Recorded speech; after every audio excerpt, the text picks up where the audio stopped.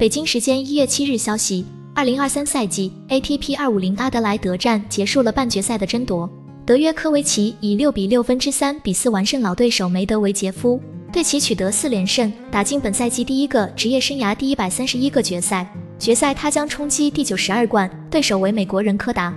本站前两场比赛中，德约先后击败两名法国球员。第二轮稍遇挑战，双抢七战胜阿里斯，四分之一决赛则完胜沙波瓦洛夫。这也是德约在澳大利亚收获的第三十二场连胜。上一场失利还要追溯到二零一八年澳网负于正炫。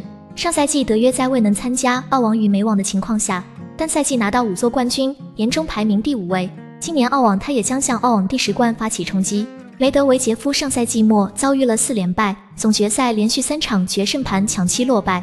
新赛季前三场比赛中，他分别击败了索尼格、凯兹马诺维奇与卡恰诺夫，这是两人之间的第十三次交手。对阵记录方面，德约科维奇八胜四负占优，且两千零二十一美网决赛后取得了三连胜。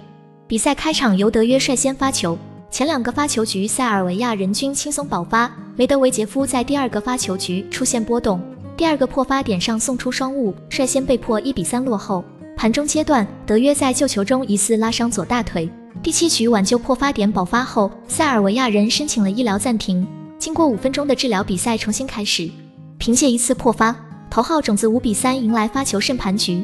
发球胜盘局中，德约在三十比一五后连续送出两记 ace，爆发后六比三先下一盘。次盘前半段两人互保势均力敌。第七局，梅德韦杰夫再次在破发点上送出双误，德约破发后四比三领先。虽然第八局梅德韦杰夫拿到过两个破发点。不过被德约依靠发球一一化解，五比四的发球胜赛局中，诺瓦克没有给对手机会，干净利落爆发，以六比四再胜一盘，大比分二比零获胜。这也是德约生涯第一百三十一个男单决赛，他将冲击第九十二关。与梅德韦杰夫的比赛是德约科维奇生涯第三百四十八场对阵 TOP 十，这项数据超越费德勒的三百四十七场，独居男网历史第一。